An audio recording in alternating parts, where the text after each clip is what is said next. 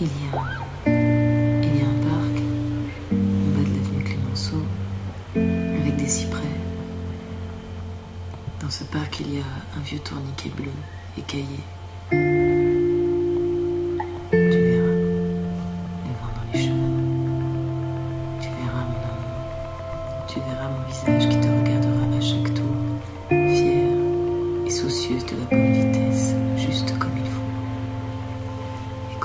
nous serons en retard pour tout, pour le bain, le repas et tout ce qu'il faut faire. Mais tu t'endormiras, abrité contre moi, épuisé par l'affolement du petit tourniquet bleu du parc Clémenceau. Et tu auras l'odeur du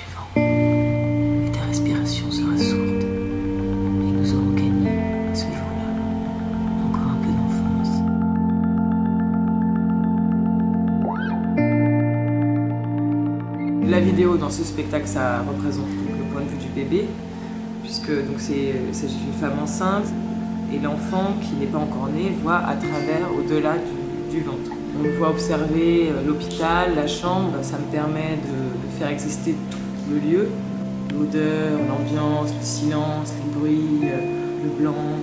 C'est vraiment une atmosphère très forte et euh, l'enfant, lui, voit vraiment tout l'hôpital, les murs de la chambre, les portes, les couloirs. Il voit aussi euh, le personnel hospitalier euh, qui est au plateau et puis euh, on part à, son histoire. Euh, ce qui m'intéressait, c'était donc de le faire aussi euh, s'endormir, rêver, transformer la réalité, euh, cauchemarder et travailler ce que peut être le cauchemar d'un enfant qui n'est pas né. Et même dans le réel, ça me permet aussi de déformer la réalité, ce qui fait qu'à l'image, on voit des choses sur l'écran que- qui sont différentes de, ce qui se passe au plateau. Ça permet d'étirer euh, une sorte de paranoïa ou des angoisses qu'on peut avoir dans un hôpital, beaucoup là de la part de la mère. Euh, plus l'histoire va avancer, plus l'enfant va déformer la réalité et euh, ça va influencer la mère et son état et son- ses angoisses. Et plus la mère va être angoissée, plus elle va, ça va influencer les cauchemars et les angoisses de l'enfant.